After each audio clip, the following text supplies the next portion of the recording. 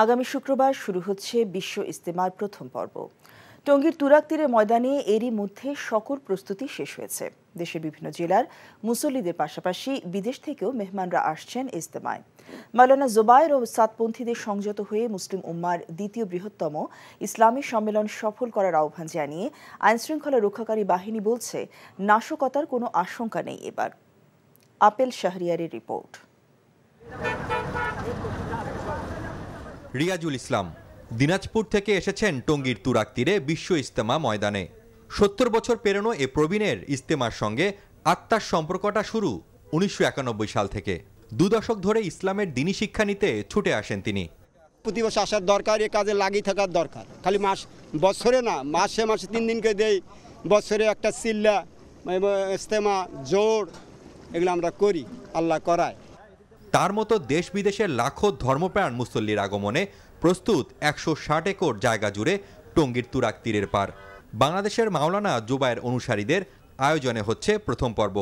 দিনের কথাবার্তা এখানে আলোচনা হবে হ্যাঁ এগুলো শুনব। আর এই কথাগুলো কথাগুলো শুনে এখান থেকে আমি আমল করে যাতে আমি আমার ইমানের আরও তরক্কি করতে পারি সেই উদ্দেশ্যে আসা এখানে। এরই মধ্যে সামিয়ানা টানানো বিশুদ্ধ পানি ও পয়নিষ্কাশন ব্যবস্থা সহ উন্নত পরিবেশ তৈরির কাজ প্রায় শেষ। অতিথিদের আগমনের নিরাপত্তায় বিশেষ পরিকল্পনা নিয়েছে আইনশৃঙ্খলা বাহিনী। শুধু ময়দানি নয় আশপাশের এলাকাতেও বাড়ানো হয়েছে নজরদারি। বিভিআইপি ভিআইপি যদি আসেন তাদের নিরাপত্তার বিষয়টিও বিবেচনায় রেখে আমরা আমাদের নিরাপত্তা পরিকল্পনা প্রণয়ন করেছি। এবং এই নিরাপত্তা পরিকল্পনা শুধুমাত্র যে ইস্তেমাস্থলে তা কিন্তু নয়। আসন্ন ইস্তেমাকে কেন্দ্র করে আইন শৃঙ্খলা পরিস্থিতি নষ্ট করতে কোনো ব্যক্তি স্বার্থনসী মহলের অপচেষ্টা, অপপ্রচার, কঠোর হস্তে দমন করা হবে। যারা এই যে ইস্তেমার আয়োজন করে বা যারা এই যে দুই পক্ষ বললেন জুবাইর পন্থী এবং সাতপন্থী উনরা যদি নিজেরা মুসলমান হয়ে মুসলমানদের সাথে ভালো সম্পর্ক না রাখেন, তাহলে ওনার কাছে মানুষ কি শিখবে? খুব সিম্পল জিনিস। তো আমরা ওনাদেরকে আহ্বান করেছি যে দয়া করে আপনারা এই কাজগুলো করবেন না। চার ফেব্রুয়ারি আখেরি মোনাজাতের মধ্য দিয়ে শেষ হবে ইস্তেমার প্রথম পর্ব। আর নয় ফেব্রুয়ারি দ্বিতীয় পর্ব শুরু হবে ভারতের মাওলানা স্থাত অনুসারীদের আয়োজনে। Apel Shahriar, NTV news, Tongi, Gazipur. জয়পুরহাটে বাইশ বছর আগের চাঞ্চল্যকর স্কুল ছাত্র মোয়াজ্জম হত্যা মামলায় এগারো জনের মৃত্যুদণ্ডের আদেশ দিয়েছে আদালত। একই সঙ্গে প্রত্যেকে পঞ্চাশ হাজার টাকা করে জরিমানা করা হয়েছে। দুপুরে জয়পুরহাটের অতিরিক্ত দায়রা জজ দুই আদালতে বিচারক আব্বাসুদ্দিন এই রায় দেন। দণ্ডপ্রাপ্তদের মধ্যে ছয়জন পলাতক রয়েছেন।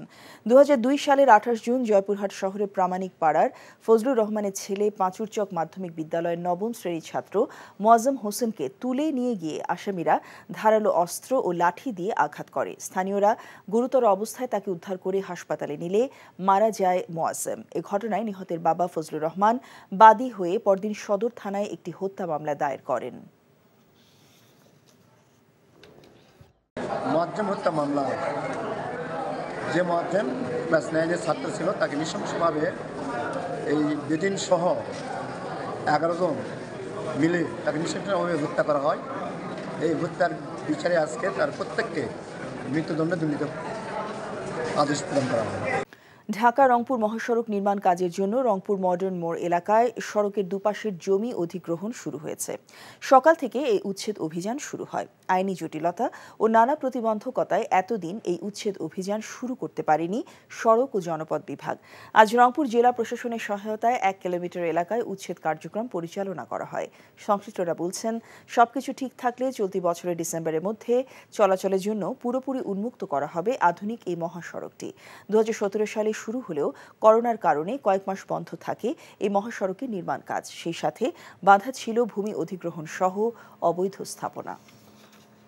টানা চতুর্থবারের মতো জাতীয় সংসদের স্পিকার নির্বাচিত হওয়ায় মুক্তিযুদ্ধের বীর শহীদদের প্রতি শ্রদ্ধা নিবেদন করেছেন ড শিরিন শেরমিন চৌধুরী। বিকেলে সাভারে জাতীয় স্মৃতিসৌধে যান জাতীয় সংসদের নবনির্বাচিত স্পিকার। প্রথমে ড শিরিন শারমিন চৌধুরী শহীদদের প্রতি শ্রদ্ধাঞ্জলি নিবেদন করেন। এরপর ডেপুটি স্পিকার মোহাম্মদ শামসুল হক টুকু, সংসদ উপনেতা মতিয়া চৌধুরী ও চিফ হুইপ নূর ই আলম চৌধুরী শহীদের উদ্দেশ্যে শ্রদ্ধা জ্ঞাপন করেন। এ সময় উপস্থিত ছিলেন জাতীয় সংসদের হুইপ মিশরাফি বিন মুর্তজা ইকবালুর রহিম আবু সাইদ আল মাহমুদ স্বপন নজরুল ইসলাম বাবু এবং সাইমম সরোয়ার কমল। পিরোজপুরের নেসারাবাদ উপজেলার কুরিয়ানার সাবেক ইউপি সদস্য ও জেলা আওয়ামী লীগের শ্রম ও জনশক্তি বিষয়ক সম্পাদক শেখর শিকদার হত্যা মামলায় বর্তমান ইউপি চেয়ারম্যান ও তার ছোট ভাই সহ চারজনকে গ্রেফতার করেছে র্যাব। দুপুরে সংবাদ সম্মেলনে র্যাব আটের অধিনায়ক লেফটেন্যান্ট কর্নেল কাজী জুবায়ের আলম জানান, গোপন খবরে ভোররাতে বাগেরহাটের মোল্লারহাট এলাকা থেকে তাদের গ্রেফতার করা হয়। গ্রেফতারকৃতরা হলেন কুরিয়ানা ইউপির বর্তমান চেয়ারম্যান মিঠুন হালদার, তার ছোট ভাই সুষময় হালদার এবং তাদের দুই সহযোগী। এলাকাবাসী জানান আধিপত্য বিস্তারের জেরে গত ত্রিশ জানুয়ারি কুরিয়ানা বাজারের কাছে বর্তমান চেয়ারম্যান মিঠুনের নেতৃত্বে সাবেক চেয়ারম্যান শেখরকে পিটিয়ে গুরুতর আহত করা হয়, পরে হাসপাতালে মারা যান শেখর। এই ঘটনায় নিহতের স্ত্রী নেসারাবাদ থানায় মামলা করেন। কুড়িগ্রামে চাঁদাবাজি ও ছিনতাই মামলায় আলমগীর হোসেন ও শহীদুল ইসলাম নামে কথিত দুই সাংবাদিককে গ্রেফতার করেছে পুলিশ। পুলিশ জানায়, বাইশ জানুয়ারি ধরলা নদীর তীর রক্ষা বাঁধের নির্মাণ কাজের এস কে এমদাদুল হক আল মামুন ঠিকাদারি প্রতিষ্ঠানে ওই দুইজন সাংবাদিক পরিচয়ে সাব ঠিকাদার জাহিদুল ইসলামের কাছে এক লাখ টাকা চাঁদা দাবি করে। চাঁদা দিতে অস্বীকৃত জানালে আটককৃত দুই সাংবাদিক সাব ঠিকাদারকে মারধর করে তার কাছ থেকে আশি হাজার টাকা ছিনিয়ে নেয়। এই ঘটনায় জাহিদুল ইসলাম ত্রিশ জানুয়ারি সদর থানায় মামলা দায়ের করেন। পুলিশ মঙ্গলবার রাতে অভিযান চালিয়ে দুই সাংবাদিককে গ্রেফতার করে। তথ্য ও যোগাযোগ প্রযুক্তি প্রতিমন্ত্রী জুনাইদ আহমেদ পলক বলেছেন, প্রত্যেকটি জায়গায় ইন্টারনেটের গতি বাড়াতে ও দাম কমাতে সংশ্লিষ্টদের নির্দেশ দেওয়া হয়েছে। আগামী পাঁচ মাসের মধ্যে ইন্টারনেটের দাম কমানো হবে। দুপুরে ফেনী পিটিআই স্কুল মাঠে তিন জেলার নারী শিক্ষার্থীদের মাঝে ল্যাপটপ বিতরণ অনুষ্ঠানে তিনি এসব কথা বলেন।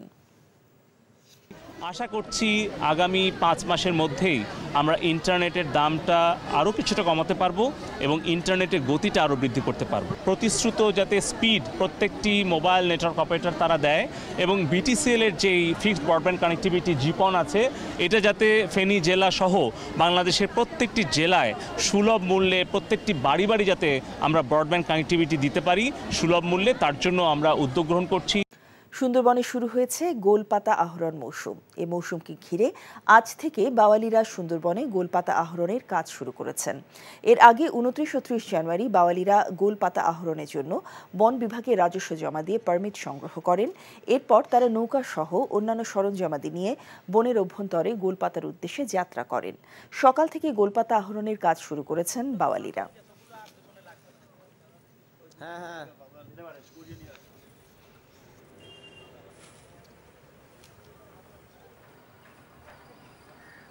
আলামিন ভাই